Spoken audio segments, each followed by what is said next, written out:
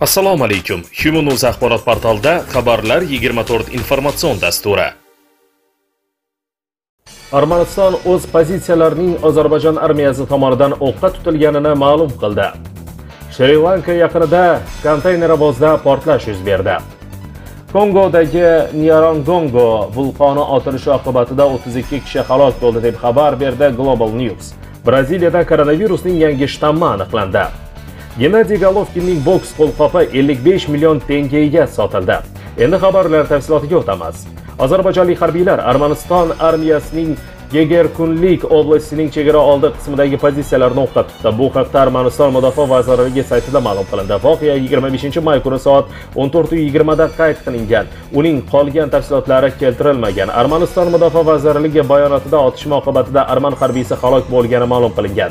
Armaniston ozarbayjon chegarasining janubiy qismida bir haftadan ko'proq vaqtdan beri notinch vaziyat saqlanib qolmoqda. Erevanda ta'kidlanishicha ozarbayjonlik harbiylar armanistonning qorako'l tumanida joylashib ushbu hududni tark etishdan bosh tortishmoqda. O'z navbatida boku ushbu ayblovlarni rad etmoqda va erevanni masalani chuqurlashtirmaslikka chaqirmoqda.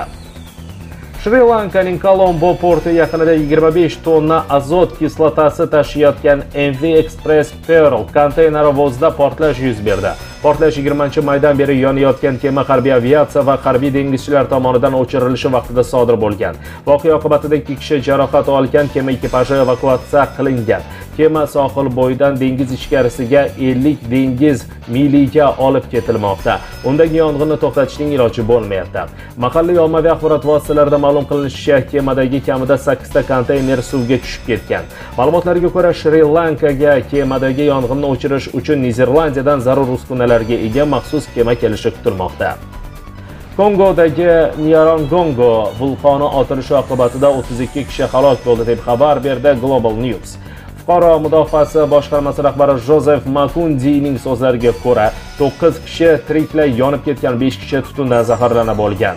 Goma vulqon observatoriyasi rahbari tristin kasereka mahitning aytishicha ko'plab odamlar evakuatsiya vaqtida tutun va zaharli gaz ta'sirida halok bo'lgan. Xabar qilinishicha lava oqimi 500 ga yaqin binoga zarar yetkazgan. Vulqon otilishi 22 may kuni kechqurun boshlangan. Neragongo vulqoni kivu ko'lidan 20 kilometr masofada joylashgan bo'lib u mazkur hududdagi 8 ta vulqondan biridir. Braziliyaning san paulo shtatidagi koronavirusning avval ma'lum bo'lmagan shtammi aniqlandi. Bu haqda g1 portali xabar berdi. P4 deb belgilangan yangi shtamm ilk bor shtatning makoka shahrida aniqlangan va porto ferrera shahrida keng tarqalgan. U koronavirusning brazilcha shtammlari p1 va p2 hamda filippinda tarqalgan p3 bilan umumiylikka ega bo'lib ushbu shtammlarning barchasi brazilcha shtamm B1128 qatoriga mansub. Ushbu shtamm hozircha p1 va britancha shtamm ustun bo'lgan muhitda tarqalmoqda. Uning tarqalish sur'atlari bizni xavotirlantirmoqda deb aytgan braziliyaning virusologlar jamiyati prezidenti joao pessoa araujo. Hozircha olimlarda p4 yuqumliroq ekani yoki og'ir oqibatlarga olib kelishi haqida ishonchli ma'lumotlar yo'q. Shu bilan birga rasmiy statistikaga ko'ra may oyida porto ferrerada koronavirusdan o'limlar soni avvalgi oylarga qaraganda eng ko'p bo'lgan. Qozog'istonlik taniqli bokschi gennadiy golovkin o'zining dastxati tushirilgan boks qo'lqopini kimoshdi savdosiga qo'ydi. Boks qo'lqopi rekord narxga 55 million tengaga ya'ni 130 ming dollarga yaqin sotib olindi. Bu haqda sabi xayriya jamg'armasi ma'lum qildi. Ma'lumotlarga ko'ra kimoshdi savdosi avvalgi hafta almatida o'tgan xayriya kechasi davomida o'tkazilgan va unda petropavlovskda bolalar shoshilinch jarrohlik markazi qurilishi uchun mablag'lar yig'ilgan.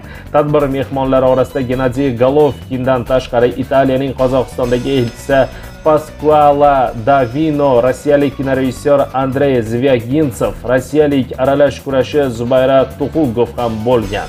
Kimoshdi savdosiga gennadiy golovkinga tegishli boks qo'lqobidan tashqari habib nurmagomedov dastxati tushirilgan futbolka ham qo'yilgan. Golovkin o'z qo'lqopini sabiy jamg'armasiga sovg'a qilgan. E'tiborlisi dastlab 500 ming tengaga baholangan boks qo'lqopi oxir oqibat 100 karradan qimmatroqqa 55 million tengaga sotilgan. Nurmagomedovning futbolkasi esa 16 million tengaga xarid qilingan. Xayriya kechasi tashkilotchilari umumiy hisobda 210 milliondan ko'proq tenga yig'ishga muvaffaq bo'lishgan. Gennadiy golovkin hozirda idf va IBO yo'nalishlari bo'yicha amaldagi jahon chempioni hisoblanadi. The Ring nashriga ko'ra 2017 yil sentyabrda 2017-yil 2018-yil sentyabrigacha vazn toifasidan qat'iy nazar dunyoning eng yaxshi bokschisi deb e'tirof etilgan. Siz Kimniz axborot portalida xorij xabarlari bilan tanishdingiz.